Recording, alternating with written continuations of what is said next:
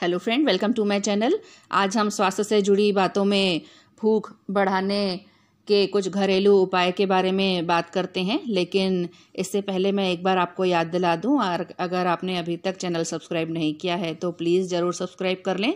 साथ ही bell icon को भी प्रेस करें, ताकि मेरे आने वाले वीडियो की जानकारी आप तक पहुँच सके। तो आइए हम इसके बारे में बात करते हैं। शरीर का हर संकेत बहुत अहम होता है। इसमें भूख न लगना भी शामिल है। यूँ तो भूख न लगना एक बहुत सामान्य लक्षण है, लेकिन यह किडनी फेल होने से लेकर कैंसर तक के संकेत देता है। भूख न लगने या कुछ भी खाने की इच्छा नहीं होने के कई कारण हो सकते हैं, जिनमें कब्ज, पेट में वायरस, पाचन संबंधी रोग या गलत तरह का खान पान गलत समय पर खाने पीने की आदत शामिल है। लंबे समय तक भूख न लगने की स्थिति को डॉक्टरी भाषा में एनोरेक्सिया कहा जाता है। इसके मेडिकल या मनोवैज्ञानिक कारण भी हो सकते हैं। भूख न लगने के संकेत जैसे खाने के प्रति उत्साह की कमी, खुराक कम होना, यानी पेट सामान्य से जल्दी भर जाना और खाते समय थकान महसूस होना, खाना आधा छोड़कर उठ जाना मनपसंद चीज़ों को भी नहीं खाना, चबाने और निगलने में परेशानी या खाते समय उबकानी आना। आमतौर पर भूख न लगने की समस्या शरीर अपने आप ठीक कर लेता है। जो लोग घर या ऑफ़िस में लंबे समय तक बैठे रहते हैं या शारीरिक रूप से कम सक्रिय रहते हैं, उन्हें अमूमन भूख कम लगती है। ऐसे लोग जिस दिन थोड़ा पसीना बहा लेते हैं, उन्हें तेज भूख लगती है। यह शरीर का सिस्टम रहता है। लेकिन लंबे समय से भूख नहीं लग रही है और शरीर का वज़न कम हो रहा है तो डॉक्टर से ज़रूर संपर्क करें। इसलिए बहुत ज़रूरी है भूख पर ध्यान देना। भूख में अचानक या धीरे धीरे कमी होना कई संकेत देता है। इसके पीछे तनाव भी हो सकता है या निमोनिया, हेपेटाइटिस, लीवर में सूजन या जलन, एड्स किडनी कैंसर का लक्षण हो सकता है। भूख की कमी कई तरह के पाचन रोग की ओर इशारा करती है, जैसे कोलाइटिस, कोलन कैंसर, क्रोन रोग या सिलिएक रोग। भूख बढ़ाने के लिए सबसे ज़रूरी है रोज़ व्यायाम और अनुशासित जीवन शैली व्यायाम करने वालों को कभी भूख की कमी नहीं होती।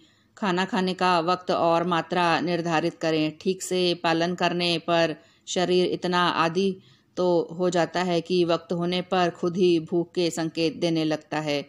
कहते हैं, खाना पहले आँखों से खाया जाता है, यानी डिश की सजावट उसे खाने के लिए प्रेरित करती है।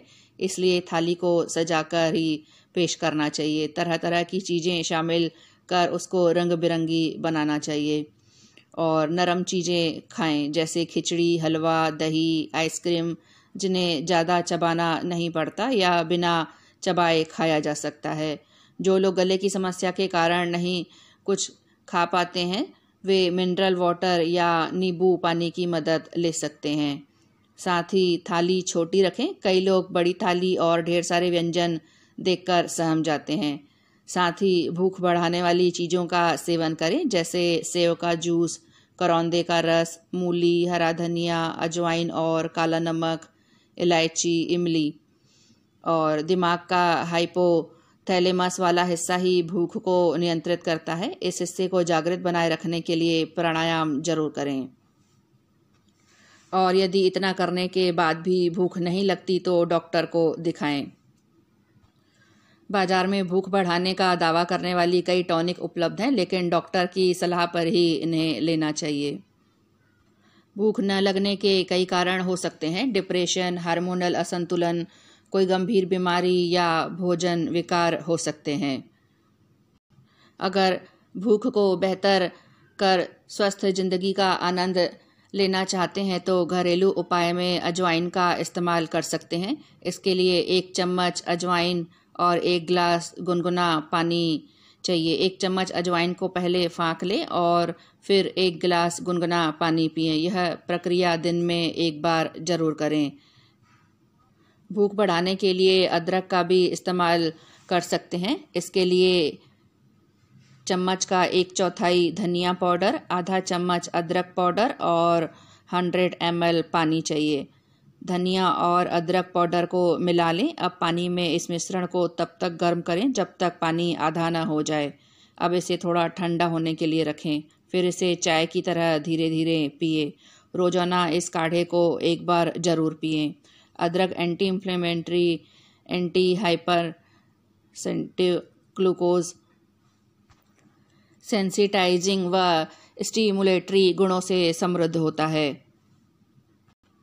यह गैस्ट्रो इंस्टेटाइनल ट्रैक पर प्रभावी रूप से काम करता है। भूख लगने के तरीके के रूप में अदरक का इस तरह से सेवन कर सकते हैं। इसके साथ ही आप इमली का भी इस्तेमाल कर सकते हैं। इमली को कुछ घंटों के लिए पानी में भिगो दें। स्वाद के लिए पानी में नमक और काली मिर्च मिलाएँ। पानी को अच्छी तरह शान कर पिएँ।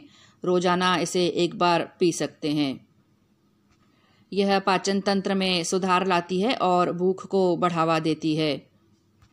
इमली में विटामिन बी वन यानी थियामिन पाया जाता है, जो भूख बढ़ाने में मदद कर सकता है। इसके अलावा धनिया पत्ते का भी इस्तेमाल कर सकते हैं। ग्राइंडर में धनिए की पत्तियाँ और पानी डालकर जूस बना लें। अब इस जूस को खाली पेट पिएँ। समस्या के दिनों में रोज़ाना सुबह इस जून जूस को पी सकते हैं। भूख बढ़ाने के उपाय के रूप में धनिए का प्रयोग किया जा सकता है। लंबे समय से धनिए का इस्तेमाल भारतीय व्यंजनों में किया जा रहा है। इसकी पत्तियाँ एंटी इन्फ्लेमेंट्री गुणों से समृद्ध होती है और पाचन क्रिया में सुधार कर भूख को बढ़ाने का काम कर सकती है। इसके साथ ही अनार का जूस भी लिया जा सकता है। जूसर की मदद से अनार का रस निकालें और स्वाद के लिए शहद मिलाएँ, फिर जूस को हल्का ठंडा करके पी सकते हैं। इस बात का ध्यान रखें कि अनार ताज़ा होना चाहिए। हर दिन एक गिलास जूस पी सकते हैं। अनार एक गुणकारी फल है, जो एंटीऑक्सीडेंट और विटामिन से समृद्ध होता है। पाचन स्वास्थ्य के लिए अनार बहुत फ़ायदेमंद है। भूख को बढ़ाने के रूप में रोज़ाना अनार का रस पी सकते हैं। भूख बढ़ाने के लिए आंवले का जूस भी पिया जा सकता है। भूख बढ़ाने के लिए आंवले का सेवन भी किया जा सकता है। दरअसल यह विटामिन सी और गैस्ट्रो प्रोटेक्टिव गुणों से समृद्ध होता है। यह पाचन स्वास्थ्य को ठीक करता है और इम्यून सिस्टम को मज़बूत बनाने का काम कर सकता है। भूख बढ़ाने की दवा के रूप में आंवले के रस का सेवन कर सकते हैं। और इसके साथ ही भूख बढ़ाने के लिए नींबू का इस्तेमाल कर सकते हैं। एक गिलास गुनगुने पानी में आधा नींबू निचोड़ लें, रोज़ाना खाली पेट इसका सेवन करें। भूख बढ़ाने की दवा के रूप में नींबू का प्रयोग किया जा सकता है। नींबू विटामिन सी से समृद्ध होता है, जो पेट को साफ़ कर पाचन क्रिया को सुचारू रूप से चलाने में मदद करता है। नींबू डाइट्री फाइबर से भी समृद्ध होता है, जो आंतों को स्वस्थ रखता है और भूख बढ़ाने के उपाय के रूप में नींबू को इस प्रकार आप ज़रूर इस्तेमाल कर सकते हैं। और आमतौर पर वयस्कों और बच्चों में भूख बढ़ाने के लिए विटामिन बी का उपयोग किया जाता है। विटामिन बी कॉम्प्लेक्स समूह में किसी भी विटामिन की कमी होने से पाचन संबंधी दिक्कत और भूख न लगने की समस्या खड़ी हो जाती है। भूख को सही करने के लिए विटामिन बी से भरपूर खाद्य पदार्थों का सेवन कर सकते हैं, जैसे मछली चिकन, मीट, अंडे, डेयरी उत्पाद, पत्तेदार, हरी सब्ज़ियाँ व बीन्स आदि विटामिन बी के अच्छे स्रोत हैं। व्यस्त जीवन शैली में भूख न लगने की समस्या किसी को भी हो सकती है, लेकिन इसे नज़रअंदाज नहीं किया जाना चाहिए। और भोजन समय पर करना चाहिए। भोजन समय पर न करने से भूख न लगने की समस्या खड़ी हो सकती है। सुबह का नाश्ता थोड़ा भारी करें। दोपहर का खाना नाश्ते से कम और रात का भोजन हल्का होना चाहिए। साथ ही जंक फ़ूड से दूर रहें और अपने दैनिक आहार में हरी सब्ज़ियाँ व फलों को ज़रूर शामिल करें। दिन की शुरुआत फ्रूट जूस से कर सकते हैं। फाइबर युक्त खाद्य सामग्री जैसे केले आदि का सेवन ज़रूर करें। भोजन करते समय ध्यान खाने पर ही होना चाहिए। और पाचन क्रिया को मज़बूत बनाने और भूख बढ़ाने के लिए योगासनों की मदद ले सकते हैं। जैसे सूर्य नमस्कार, कपाल भाती, प्राणायाम। और भूख न लगने की समस्या से निजात पाने के लिए काली मिर्च का उपयोग कर सकते हैं। काली मिर्च एक कारगर दवा के रूप में कार्य करती है, जो पाचन शक्ति को मज़बूत बनाकर भूख में सुधार लाती है। रोज़ाना दो से तीन काली मिर्च सीधे खा सकते हैं, या फिर काली मिर्च की चाय बना सकते हैं। चाय बनाने के लिए पैन में एक कप पानी को गर्म होने के लिए रखें। इसमें अदरक, चाय पत्ती और काली मिर्च डालकर चार पाँच मिनट तक अच्छी तरह खौलाएँ। अब चाय को छान लें और स्वादानुसार शहद मिलाकर धीरे धीरे पिएँ। इसके अलावा सौंफ भूख बढ़ाने के रूप में कार्य कर पाचन को बढ़ावा देने का काम कर सकती है। इससे भूख बढ़ाने में मदद मिल सकती है। इसके लिए एक चम्मच सौंफ के बीज और आधा चम्मच मेथी के दाने कुछ मिनट तक उबालें। स्वाद के लिए आधा चम्मच शहद मिला सकते हैं। अब इसे शाने और चाय की तरह धीरे धीरे पिए। इस चाय को दिन में एक या दो बार पी सकते हैं। इस तरह से भूख बढ़ाने के लिए आंवला, अदरक, सौंफ, काली मिर्च, इलायची, अजवाइन, इमली, अनार, धनिया पत्ता और नींबू, ये सभी भूख बढ़ाने में आपकी मदद कर सकते हैं। लेकिन इन बातों का ध्यान ज़रूर रखें कि अगर घरेलू उपचार के दौरान अगर किसी को मतली एलर्जी या उल्टी जैसे लक्षण दिखते हैं या तो इसका इस्तेमाल बंद कर दें और अगर कोई घरेलू नुस्खा कोई सकारात्मक प्रभाव नहीं दे रहा है तो ज़रूर डॉक्टर से संपर्क करें। तो फ्रेंड इस तरह से स्वास्थ्य से जुड़ी इतनी ही बातें और बातें हम मेरे आने वाले वीडियो पे करेंगे। तब तक के लिए प्लीज़ चैनल को लाइक शेयर और सब्सक्राइब ज़रूर करें। साथ ही बेल आइकन को भी प्रेस करें ताकि मेरे आने वाले वीडियो की जानकारी आप तक पहुँच सके।